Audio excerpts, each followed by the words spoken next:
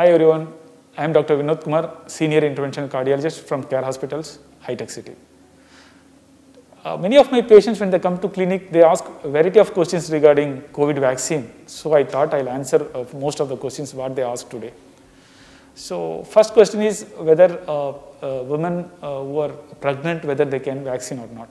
With the current recommendation as of today, they can take vaccine provided we have to discuss with the patient, explain risk, everything and it has to be taken. Second, breastfeeding mothers, yes, definitely they can take vaccine without any issues according to current recommendations in India. Third, women who are menstruating whether they can vac take vaccination or not. Yes, definitely there is no problem for women even during the menstrual period they can take vaccination. Children whether they can take vaccine or not. Children up to the 18 years of age the current vaccination is not recommended. It is only for the children above the age of 18 it is recommended. And people with high sugars, high BP, whether they can take vaccine. This is the common question most of my patients they ask.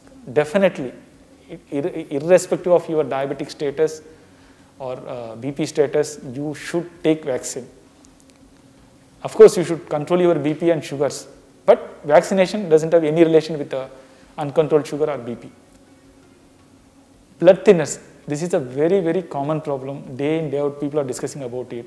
There is no problem even if you are taking blood thinner, you can take safely blood thinners and the vaccine on the same day. You should not stop any of your uh, blood thinners which you are taking for your uh, stenting or bypass surgery, whatever medication, medications you are taking, you should take before day, on the day of vaccination, even the next day. You should continue without any interruption.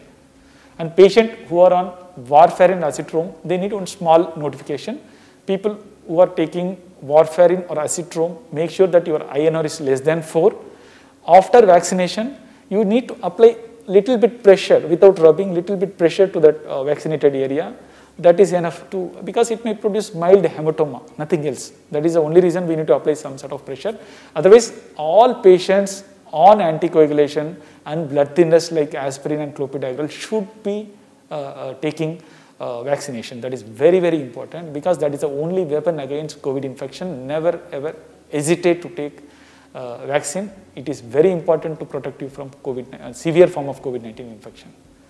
And who should not COVID, take COVID-19 vaccine, vaccination? Covishield, patients who are allergic to first dose of uh, Covishield should not take uh, Covishield vaccine. Thank you.